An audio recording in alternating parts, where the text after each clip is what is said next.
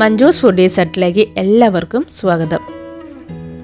ഇന്ന് കാണിക്കാൻ പോകുന്നത് വെറും മൂന്ന് ഇൻഗ്രീഡിയൻസ് മാത്രം ഉപയോഗിച്ചുകൊണ്ടുള്ള ഈസി ആയിട്ടുള്ള ടേസ്റ്റി ആയിട്ടുള്ള ഒരു കേക്കാണ് കുട്ടികൾക്ക് വരെ ചെയ്തെടുക്കാൻ പറ്റുന്ന ഒരു രീതിയിലാണ് ഞാനിന്നിവിടെ കേക്ക് ഉണ്ടാക്കി കാണിക്കുന്നത്. ഒട്ടും കേക്ക് ഉണ്ടാക്കാൻ അറിയാത്തവർക്കും ഈസി ആയിട്ട് ഉണ്ടാക്കിയെടുക്കാം.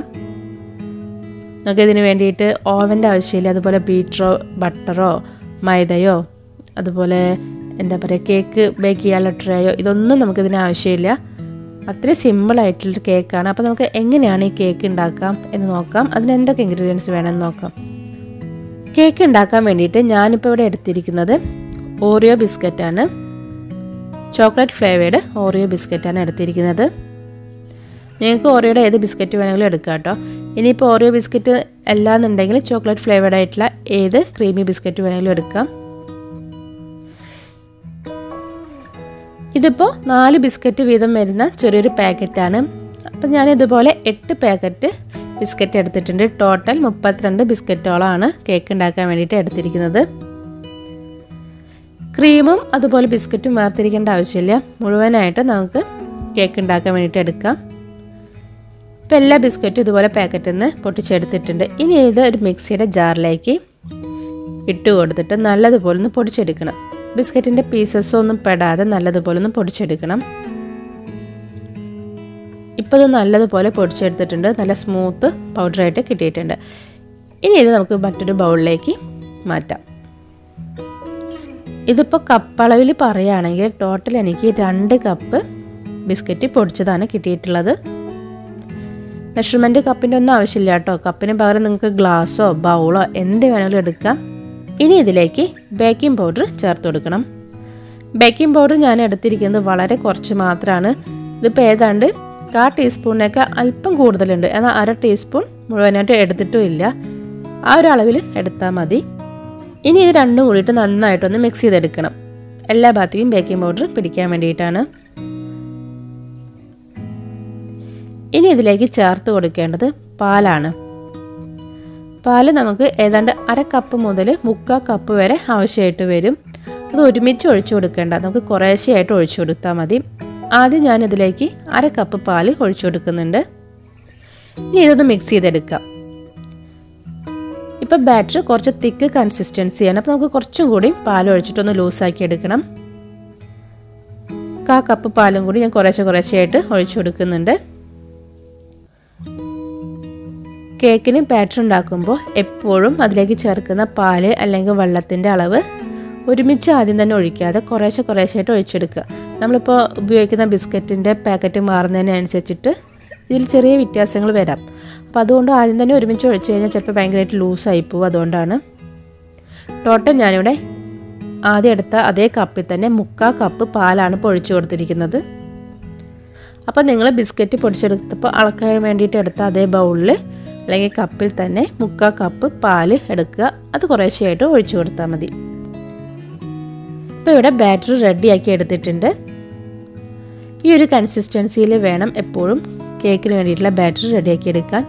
ഇനി നമുക്കിത് ബേക്ക് ചെയ്യാൻ വേണ്ടിയിട്ടുള്ള പാത്രത്തിലേക്ക് അല്ലെങ്കിൽ ട്രേയിലേക്ക് ഒഴിച്ചു കൊടുക്കാം.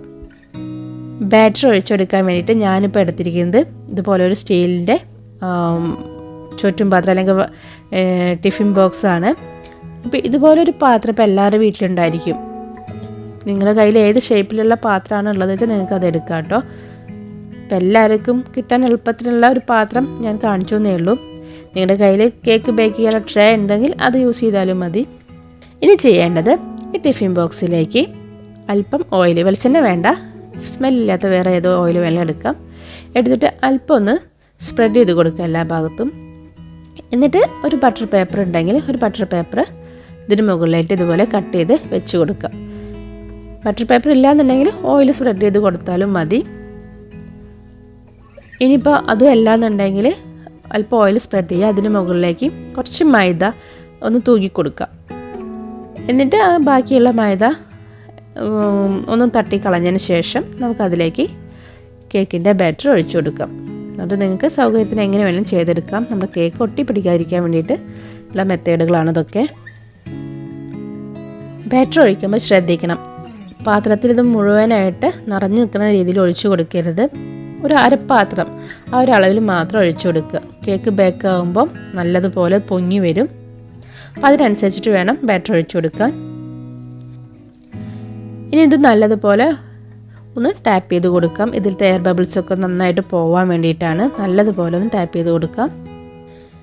ഇനി നമുക്ക് ചെയ്യേണ്ടത് ബേക്ക് ചെയ്തെടുക്കലാണ്. ബേക്ക് ചെയ്യാൻ വേണ്ടിയിട്ട് ഞാനിപ്പോൾ ഓവനല്ല യൂസ് ചെയ്യുന്നത്. ഇതുപോലെയുള്ള ഒരു പാത്രമാണ്. നിങ്ങളുടെ കയ്യിൽ നല്ലതുപോലെ ടൈറ്റായിട്ട് അടച്ചു വയ്ക്കാൻ പറ്റുന്ന ഏത് പാത്രമാണോ ഉള്ളത് അതെടുക്കുക ഇതിലിപ്പോൾ ഉപ്പൊന്നും ഇടാതെ തന്നെ നമ്മൾ ഡയറക്റ്റ് ഇതിലേക്ക് വെച്ച് കൊടുത്തിട്ടാണ് കേക്ക് ബേക്ക് ചെയ്തെടുക്കുന്നത്. ഇതിപ്പോൾ പത്ത് മിനിറ്റ് നേരം ഹൈ ഫ്ലെയിമിലിട്ടിട്ട് പ്രീ ഹീറ്റ് ചെയ്തെടുത്തിട്ടുള്ള ഒരു പാനാണിത് അപ്പോൾ നിങ്ങളിത് ശ്രദ്ധിക്കണം. നിങ്ങളുടെ കയ്യിൽ നല്ല നോൺ സ്റ്റിക്ക് പാത്രമൊക്കെ ആണെങ്കിൽ നിങ്ങൾ അതൊന്നും ബേക്ക് ചെയ്യാൻ വേണ്ടി യൂസ് ചെയ്യരുത് കേട്ടോ. അതിന്റെയൊക്കെ കോട്ടിങ് പെട്ടെന്ന് നാശമായി പോവും. ഞാൻ കുക്കിങ്ങിനൊന്നും യൂസ് ചെയ്യാത്ത പഴയ ഒരു പാത്രമാണ്. ഇങ്ങനത്തെ കാര്യത്തിന് വേണ്ടി മാത്രമായിട്ട് മാറ്റി വെച്ചിട്ടുള്ളതാണ്. നല്ലതുപോലെ എയർ ടൈറ്റ് ആയിട്ടുള്ള ഒരു പാത്രമായിരിക്കണം എന്ന് മാത്രമേ ഉള്ളൂ. അപ്പോൾ ഈ ചൂടായി കിടക്കുന്ന ഈ പാനിലേക്ക് ഇതുപോലെ ഒരു റിങ്ങോ അതല്ലാന്നുണ്ടെങ്കിൽ എന്തെങ്കിലും മെറ്റലിന്റെ ബൗളോ അങ്ങനെ എന്തെങ്കിലും ഒന്ന് ഇറക്കി വെച്ച് കൊടുക്കാം. കേക്ക് ട്രേ ഇതിന്റെ മുകളിൽ കറക്റ്റായിട്ട് ഇരിക്കണം. അതിന് വേണ്ടിയിട്ടാണ്. ഇനി നല്ലതുപോലെ ഇത് കവർ ചെയ്ത് വെക്കാൻ പറ്റുന്ന ഒരു അടപ്പ് വെച്ചിട്ട് അടച്ചു വയ്ക്കുക ഒട്ടും ചൂട് പുറത്തേക്ക് പോവാത്ത രീതിയിൽ ടൈറ്റായിട്ടുള്ള ഒരു അടപ്പ് തന്നെ യൂസ് ചെയ്യണം. എന്റെ ഈ ലിഡിന് ചെറുതായിട്ടൊരു എയർ ഹോൾ ഉണ്ട്. അപ്പം ഞാനത് ടിഷ്യൂ പേപ്പർ വെച്ചിട്ടൊന്ന് കവർ ചെയ്ത് വെച്ചിരിക്കുകയാണ്. അതല്ലാന്നുണ്ടെങ്കിൽ എന്താ വെച്ചാൽ ഇതിൽ ഈർപ്പവെള്ളമൊക്കെ നിറയും അടപ്പിനുള്ളിൽ. അപ്പോൾ നമ്മുടെ കേക്കിലേക്ക് അത് ഒറ്റി വീണിട്ട് കേക്ക് പെർഫെക്റ്റ് ആയിട്ട് കിട്ടില്ല. അതിന് വേണ്ടിയിട്ടാണ് ഇതിങ്ങനെ കവർ ചെയ്ത് വെച്ചത്. അപ്പോൾ അത്രയും ചൂട് പുറത്തേക്ക് പോവാത്ത രീതിയിൽ നിങ്ങൾ കവർ ചെയ്ത് വെക്കണം. ഇനി ഇതിപ്പോൾ നല്ലതുപോലെ അടഞ്ഞിരിക്കാൻ വേണ്ടിയിട്ട് വേണമെങ്കിൽ നമ്മൾ ഈ അടപ്പിന്റെ മുകളിലേക്ക് എന്തെങ്കിലും വെയിറ്റുള്ള സാധനങ്ങൾ വേണമെങ്കിൽ നിങ്ങൾക്ക് അങ്ങനെയും വെച്ചിട്ട് അടയ്ക്കാം. ചൂടൊട്ടും പുറത്ത് പോവാതെ ശ്രദ്ധിച്ചാൽ മാത്രം മതി. ഇനി ഇത് ബേക്ക് ചെയ്യാൻ വേണ്ടിയിട്ട് ലോ ഫ്ലെയിമിൽ ഇട്ടിട്ട് ഏതാണ്ട് മുപ്പത്തഞ്ച് ടു നാൽപ്പത്തഞ്ച് മിനിറ്റ് ടൈം ആവശ്യമായിട്ട് വരും. എടുക്കുന്ന ബാറ്ററിന്റെ അളവിനനുസരിച്ചിട്ടും അതേപോലെ ഇപ്പോൾ പരന്ന പ്ലേറ്റിലാണ് നിങ്ങൾ ബേക്ക് ചെയ്യാൻ വേണ്ടിയിട്ട് എടുത്തിരിക്കുന്നതെങ്കിൽ അപ്പോൾ തിക്നെസ് കുറവായിരിക്കുമല്ലോ. അപ്പോൾ അതിനനുസരിച്ചിട്ട് ബേക്ക് ചെയ്യുന്ന ടൈമിൽ ചേഞ്ച് വരും. അപ്പോൾ അത് ശ്രദ്ധിക്കുക. അപ്പോൾ നിങ്ങളുടെ സ്റ്റൗവിൽ എത്രത്തോളം നിങ്ങൾക്ക് ഫ്ലെയിം കുറച്ച് വയ്ക്കാൻ പറ്റുമോ അത്രയും ലോ ഫ്ലെയിമിലേക്ക് ആക്കിയിട്ട് വേണം ബേക്ക് ചെയ്തെടുക്കാൻ. ഞാനിപ്പോൾ എന്റെ സ്റ്റൗവിൽ ഏറ്റവും ചെറിയ ബർണറിൽ ലോ ഫ്ലെയിമിൽ വെച്ചിട്ടാണ് ബേക്ക് ചെയ്യുന്നത്. ഓരോരുത്തരുടെ സ്റ്റൗവിനനുസരിച്ചിട്ട് ചെറിയ ഡിഫറൻസ് വരും. അതുകൊണ്ടാണ് പ്രത്യേകമായിട്ട് പറയുന്നത്.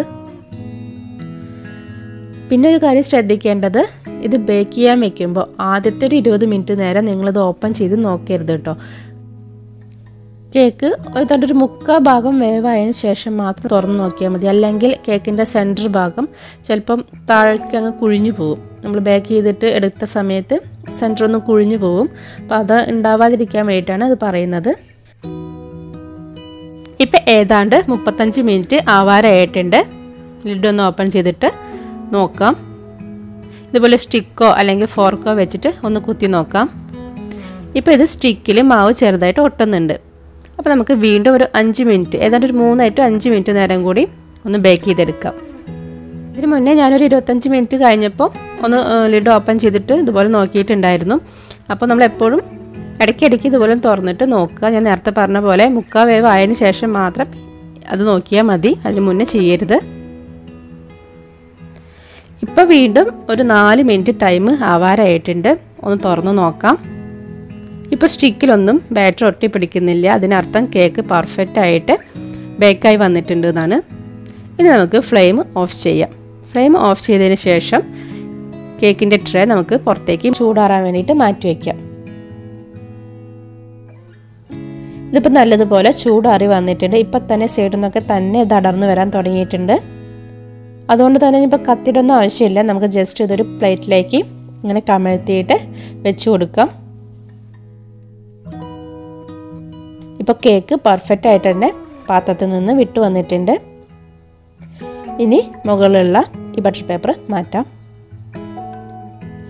അപ്പോൾ നമ്മുടെ കേക്ക് ഇവിടെ റെഡി ആയിട്ടുണ്ട്. ഇതിപ്പോൾ നല്ല സോഫ്റ്റാണ് കഴിക്കാൻ നല്ല ടേസ്റ്റുമാണ്. നമ്മൾ എക്സ്ട്രാ ഷുഗർ ഒന്നും ഇതിൽ ആഡ് ചെയ്തിട്ടില്ല. എങ്കിലും പാകത്തിന് മധുരമുണ്ട് ആ ബിസ്ക്കറ്റിലെ ക്രീമിന്റെയും ബിസ്ക്കറ്റിന്റെ ഒക്കെ മധുരം തന്നെ പാകത്തിനുണ്ട്.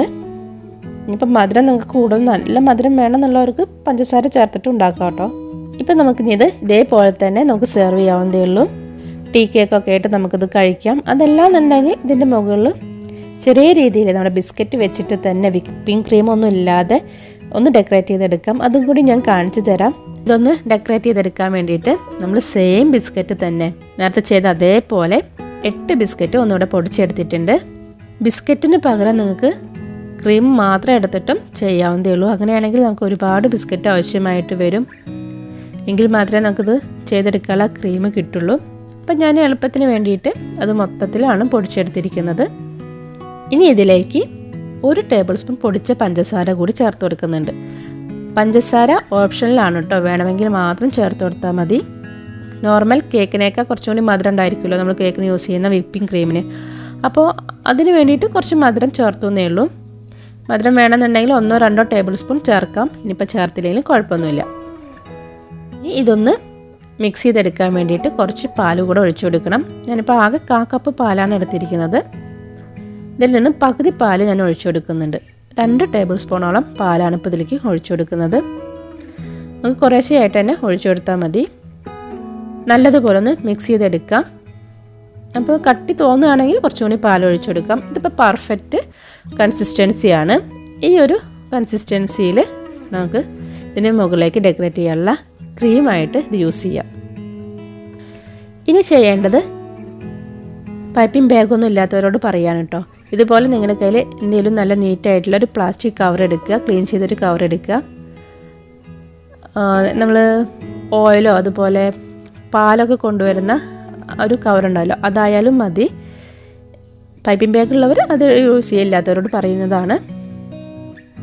ഇനി ഇതിന്റെ മുകൾ ഭാഗം ഇതുപോലെ ഒന്ന് കട്ട് ചെയ്തിട്ട് ഒരു ഗ്ലാസ്സിലേക്കോ എന്തെങ്കിലും ബൗളിലേക്കോ ഇതുപോലെ നിറക്കി വെച്ചിട്ട് നമ്മൾ റെഡിയാക്കി വെച്ചിരിക്കുന്ന ഈ ബിസ്ക്കറ്റിന്റെ മിക്സ് ഇതിലേക്ക് ആക്കി കൊടുക്കുക.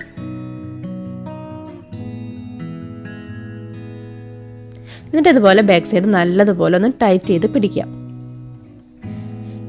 ഇനി നമുക്ക് കേക്കിന്റെ മുകളിലേക്ക് ഈ ബാറ്റർ ആക്കാം. അതിന് വേണ്ടിയിട്ട് ചെറുതായിട്ടൊന്നുകൂടെ കട്ട് ചെയ്ത് കൊടുക്കുക. എന്നിട്ട് പതിയെ ഇതുപോലെ ഒന്ന് ക്രീം ഇതിന്റെ മുകളിലേക്ക് ആക്കി കൊടുക്കാം.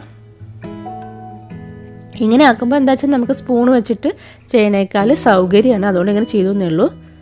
ഒട്ടും ഐസിങ് ചെയ്യാൻ അറിയാത്തവർക്കായിട്ട് പറയുന്നതാണ് കേട്ടോ. ഇനി നമ്മുടെ വീട്ടിൽ സാധാരണയുള്ള കത്തി ഉണ്ടല്ലോ.